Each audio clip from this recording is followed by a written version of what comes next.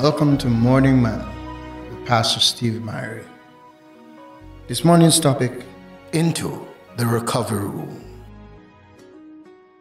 For we have not an high priest that cannot be touched with the feelings of our infirmities, but was in all points tempted, like as we are, yet without sin. Hebrews 4, verse 15.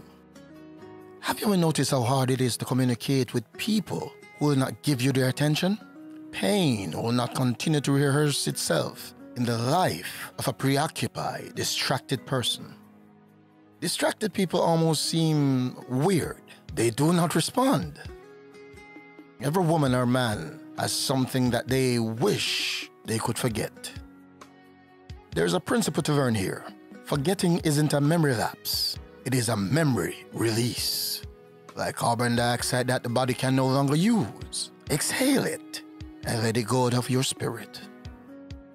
Brethren, I count not myself to have apprehended, but this one thing I do, forgetting those things which are behind, and reaching forth unto those things which are before. I press towards the mark for the prize of the high calling of God in Christ Jesus.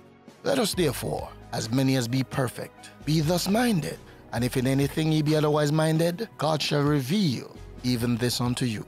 Philippians 3 13 to 15. Jesus set the infirm woman of Luke 13 free. She was able to stand upright. The crippling condition of her infirmity was removed by the God who cares, sees, and calls the infirmity to the dispensary of healing and deliverance. Let me tell you, you can call upon Him even in the middle of the night, like a 24 hour medical center. You can reach Him at any time. He's touched by the feeling of your infirmity.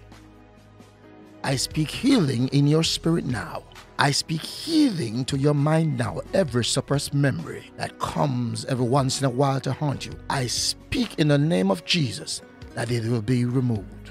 As we share today in the Word of God, I pray that the Holy Ghost will roll you into the recovery room where you can fully realize that the trauma is over I'm excited to say that God never loosed anybody he wasn't going to use mightily.